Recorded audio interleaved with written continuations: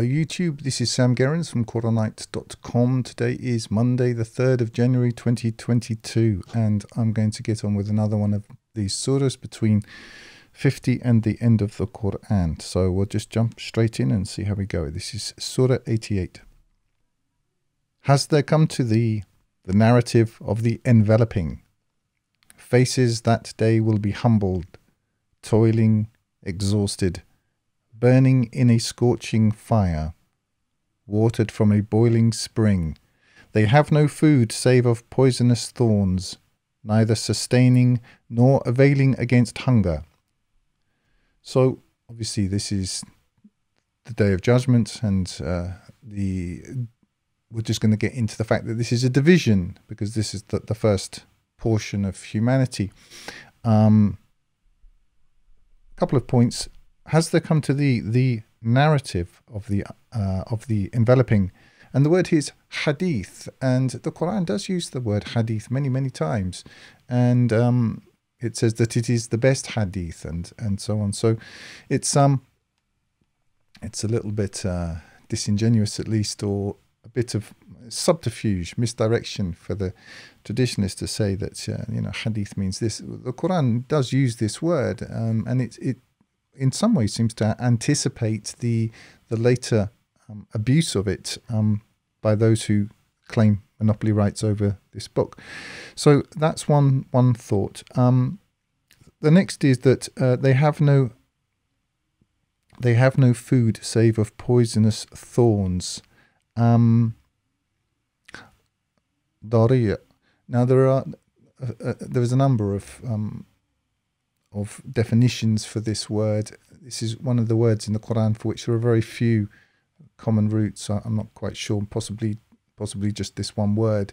And so there's there's very little, if if anything at all, to sort of triangulate, as it were, within the context.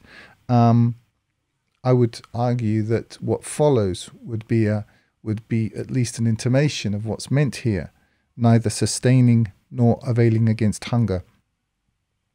Okay, so that's that's the first part. So the reason why I mentioned sort of division or um, segregation into into two parts is because we're living through something similar now. We're living in a, a, a form of medical apart. Well, it is medical apartheid. There's nothing else you could really call it. Um, in the country that I live in, in Russia, they're now uh, putting it about that uh, banks are going to have different rates of interest or different different categories of uh, charges for people who, who have or have not submitted to the, the state religion and um, and various other things. Uh, th- that isn't law yet, so far as I, I know, but they're they're kind of bringing this in. So quite clearly, we're living in in in a period of furqan, to use Quranic parlance, a division, and in a way, I what I've learnt about the shaitan over the years is he's he's quite limited and um, also he has seems to have this preoccupation with um, aping God, as it were. So if you look at the system that we're currently in, we have um, it's got a form of omniscience with total surveillance everywhere, and uh, a form of omnipotence, a form of it. It's not really it, but uh, you know, with total war and um, drone strikes, and you know, you can just be killed anywhere. All this sort of stuff.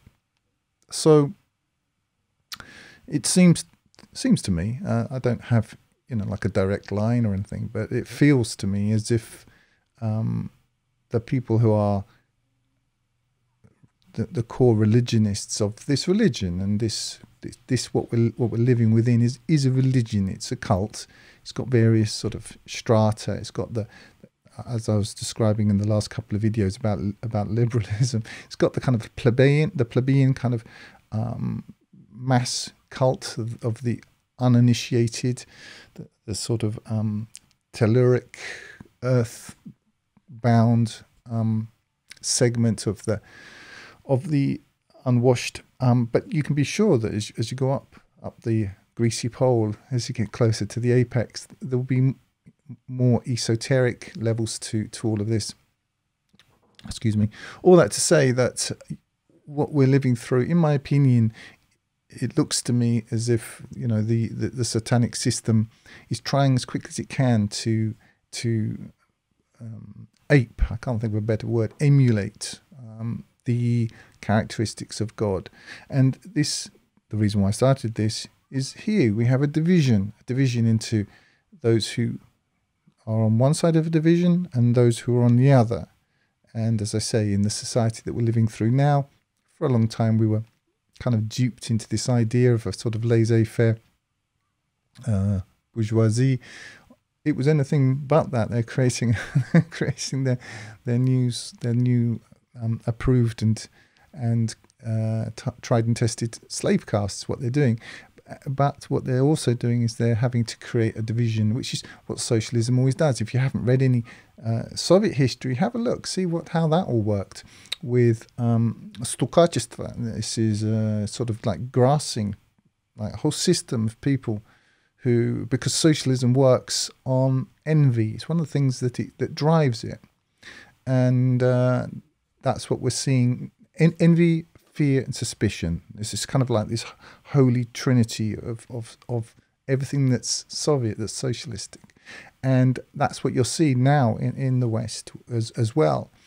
Um, all that to say, under the Soviet um, incarnation of materialistic uh, atheism, you had the the proletariat, uh, and anybody who wasn't a member of the proletariat was part was part of the bourgeoisie, and they were the enemy. They they they they could be persecuted, and were absolutely were. I mean, Russia went through, and not only Russia, the entire Soviet Union went through um, an ethnic cleansing, purging, and an, an intelligence for destruction of what you would call in intelligentsia. The word intelligent doesn't quite mean cultured, uh, uh, uh, intelligent. It more means cultured, it, it really. But that was a form of abuse. In fact, it was a form of abuse that get you killed. Being being accused of being in, a member of the intelligentsia could get you killed in this country not very long ago. And so what we see, what we see, of course, is similar. They're not exactly the same, but similar patterns of divide and conquer. Um, which one sees it already in various online places of um, people who believe in the what I call the mask of the beast, um, attacking people who don't, and um, you can see how easy it is. It's the same it's the same, uh, the same playbook, the same basic mechanisms.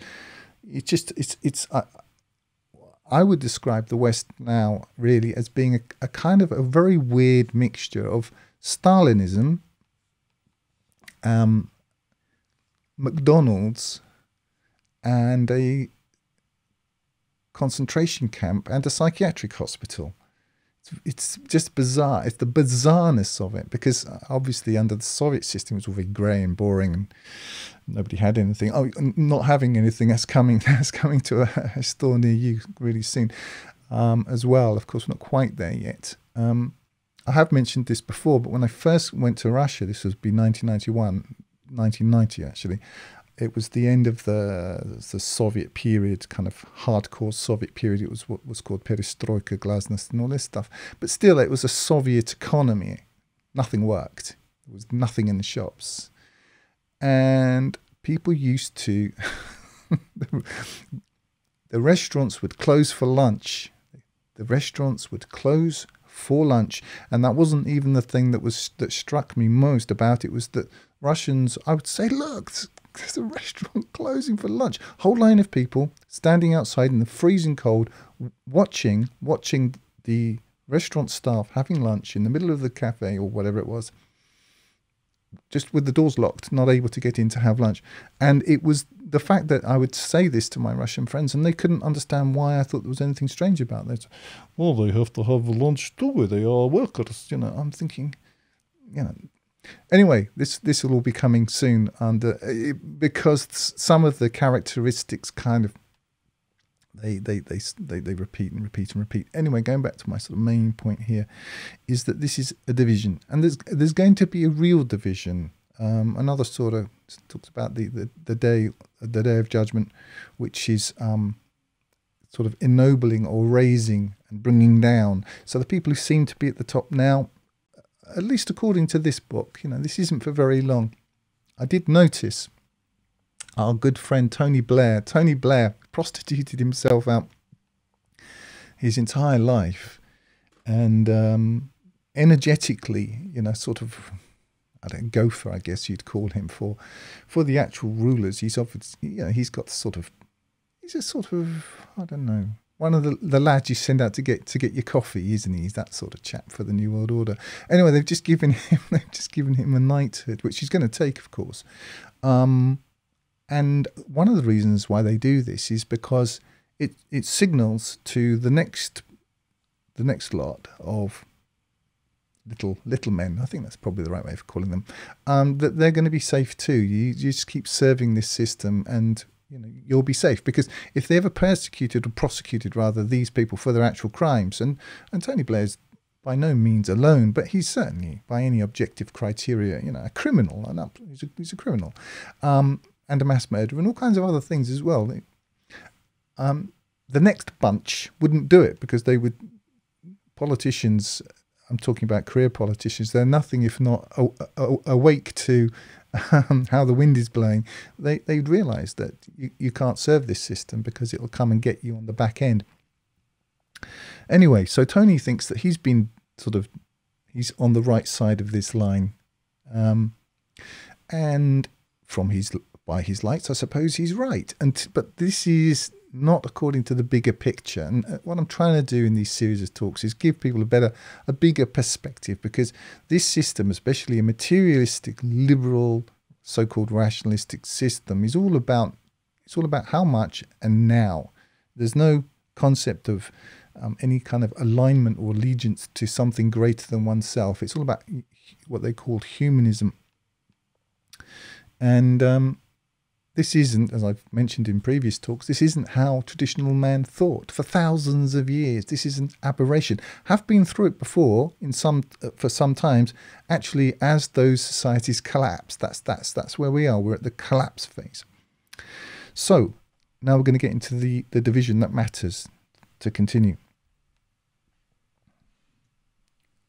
Faces that today will be joyous. You see this this corresponds with faces that day will be humbled.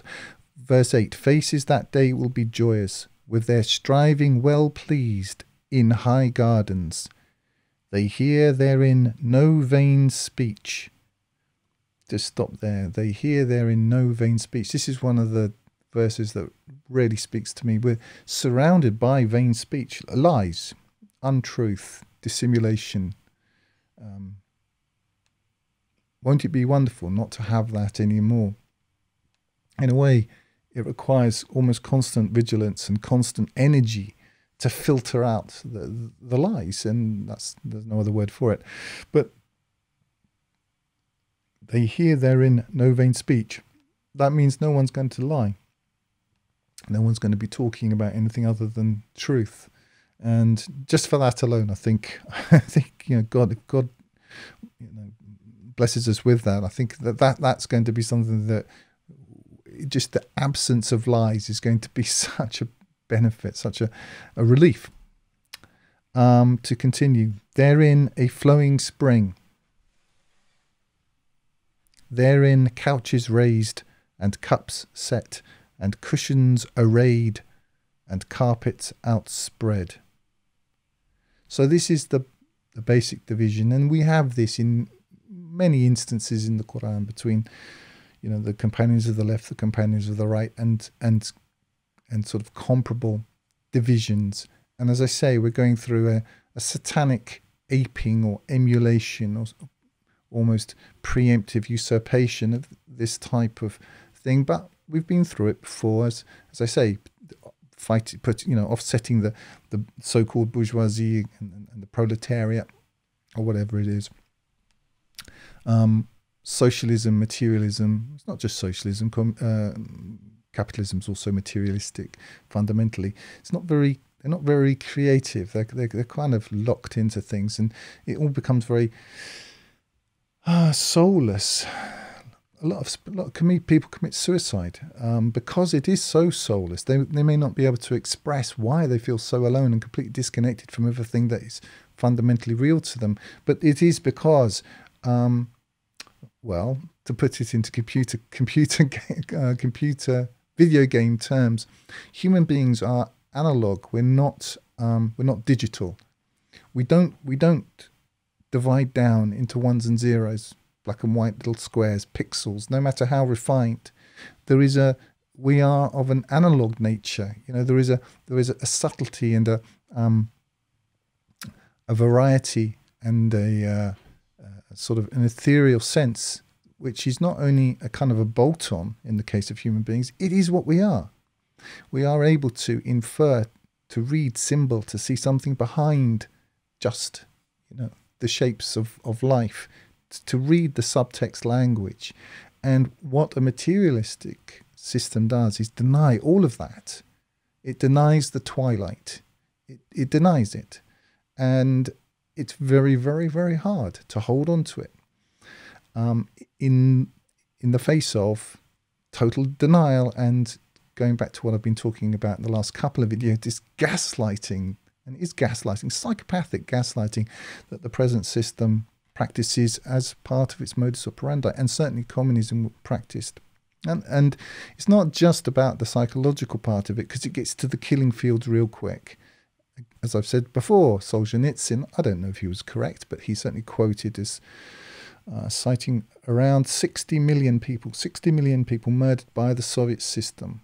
It's just machine. They weren't all just, they weren't all shot, but um, collective farming, the starvation, enforced starvation, planned starvation in Ukraine. Uh, Lazar Kaganovich, that's what he did. I mean, they really did murder six million people. They really did die. It was just, and, they didn't know because there was no food. They took the food away, a bit like what the British did to the Irish. These these systems, they they they they repeat. Anyway, now we get into the third part of this particular surah, verse seventeen. Will they then not look at the camels, how they were created, and at the sky, how it was raised, and at the mountains, how they were erected, and at the earth, how it was spread out? Now, just a couple of points here. If you look at a camel, it's a very unlikely. I mean, I suppose any any creature is unlikely when you really think about it. But a camel is almost pointedly un, unlikely. If you look at how it's hooves work. It's you know, it's capacity. I mean, there are different types of uh, of camel. Obviously, there's a double humped camel and single humped camel. I'm sure there are lots of subtleties about camels that I'm totally unaware of. But uh, I've seen different types of camels in my life. Camels you might see in Mongolia, for example, which are double humped back, and then what you might more typically see in in, in North Africa or Arabic countries which are more single humped. I mean, if you're if you're a camel expert, you know, feel free to correct me in the, in the comments down below. But that's that's my understanding of it. But you know, it's correctly termed the ship of the desert. God created an animal that would see man across these vast expanses, and um, we are called upon just just to consider that. Uh, to continue, and the sky, how it was raised. excuse me. And it says in verse in of 50, do they not uh, look at the sky above them, how we uh, built it and how we beautified it? We have all of this um, riot of evidence around us. This isn't a difficult thing to, to infer. We're meant to infer it. Going back to the symbols thing, only man, only man can see, can infer from a symbol something that he hasn't seen, but he can deduce on the basis of that evidence. Um, that sort of ability to read symbolically, which is something that this system, materialistic system, totally negates in every single way. But these are things that are important to anyone with any sort of spiritual appetite or hunger. And now we get to the last, the last part of the surah. So remind thou, thou art but one reminding, thou art not over them an overseer. Just stop and hit this point. Now, I'm not here to in, inveigh against the traditionalists. It's not my main thing. There are, there are, and there have been um, channels which which focus on that, and I suppose that's because people they ca- they come from that sort of background. Uh, I don't. I come from culturally. Culturally, I'm Church of England. Um, in terms, in terms of cultural religions, I don't I don't come from that background at all. So I wasn't oppressed by the traditionalists growing up, and I don't have some sort of you know huge pent up um, resentment or whatever it is uh, against him. I just find him. He's just somebody else that doesn't make any sense to me, just like the Jehovah's Witness or, you know, the Scientologist. He's just one of many, and also ran in, that sense. But I do have to critique him because he claims uh, monopoly rights uh, over a book that quite clearly in my opinion, or according to my analysis, he doesn't understand. And not only does he not understand it, he won't let anybody else at it, which is really more of a problem. So, just this thing, thou art not over them an overseer. Now, this word really is related to the verb to write. It's an, a, in the sense of a manager, somebody with a clipboard. You know, oh yes, 27 of those, 30 of those, this that's what this word means, okay? And it's saying to the recipient of the Quran, you, you you're not over them in this sense. Now, that really conflicts with the underlying or narrative that the traditionalist tries to push on you, because it has it that actually Muhammad was an overseer over, everyone else. That it was his job to make sure that everybody else comported with this thing. Um, let's take, for example, God forbid that you leave the whatever they call the religion of Islam. Um, currently, I mean, they, they may be watering this down a little bit in the West uh, uh, until the West collapses, of course. This is just a holding pattern. Um, but, uh, you know, traditionally, the, the punishment for that has been, has been death. So, I mean, you can't get more of an overseer than that, can you? And yet you have examples in the Quran. It says, uh, "La ikraha din." You know, there is no compulsion in in the in the doctrine. Um, again, when the if believing women slip away from you to the unbelieving men, nothing in there about killing them. Next time you find them, chop their heads off. No, nothing at all. So there's there are huge conflicts, and I do outline quite a few of those in in in my in my broader work. So it's quite clear that Muhammad was many things, but he was a messenger, he was a warner. But according to this book, the book which the traditionalist claims as his foundational scripture, but quite clearly doesn't treat in that light, it says that, and thou art not over them an overseer. So I just thought I'd hit that point because it's quite interesting. To continue. But whoso turns away and denies, God will punish him with the greatest punishment. Okay, so let's say somebody, let's say, let's let's just assume for argument's sake that this cultural narrative, which is a changing, shifting sand actually, which variously arrogates to itself the term Islam and then attacks everyone else on that basis. Let's just let's just say yes, it's right. Let's just assume that it is correct in every single regard. Although it's poss- it's impossible because it's conflicting narratives. It says that Whoso turns away and denies God will punish him with the greatest punishment. So let's say those women who slipped away, they've done a terrible thing. God will punish them. It's not, it's not your job. It's not Muhammad's job. But look, the traditionalist is arrogating to himself something which it claiming, claiming to follow the Prophet and then attacking you because you don't agree with his, you know, his um, narrative cobbled together after the fact. He's not following it. Not not in any real sense. Um, and God says that He will, if there's any punishment to be done on that in in this regard, He's the one to do it. So it seems to me not only heretical but somewhat um, ah, what's the word? Blasphemous. Yes. But whoso turns away and denies, God will punish him with the greatest punishment. To us is their return, and then upon us is their reckoning. Again, the division. Anyway, I just thought I would try to highlight some of the correlations, albeit in not very well organized format between what we're going through now, what the traditionalist does and, and has done. Not all traditionalists, that's not true, um, but but some, um, and what this book says, because there is a tension between these things, and according to this book, you know, to us is their return, then upon us is their reckoning, and this includes me, you, the traditionalist, these crazy green-haired ladies filling our children's heads with nonsense in the public school system, everyone.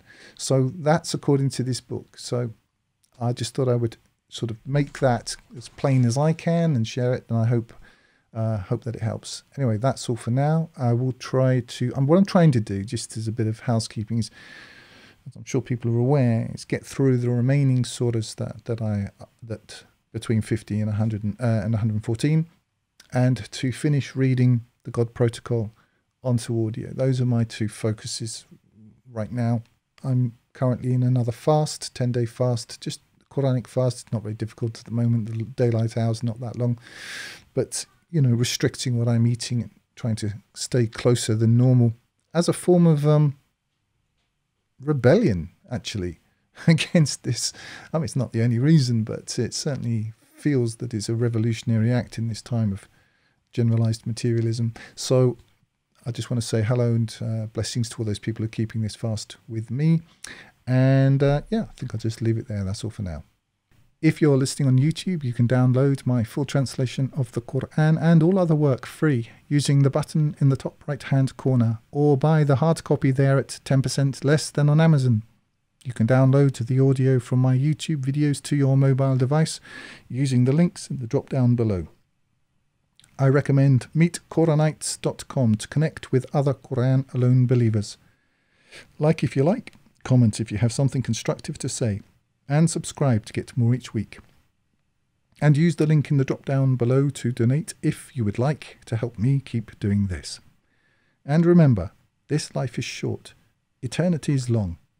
If you want good trees, plant good seeds.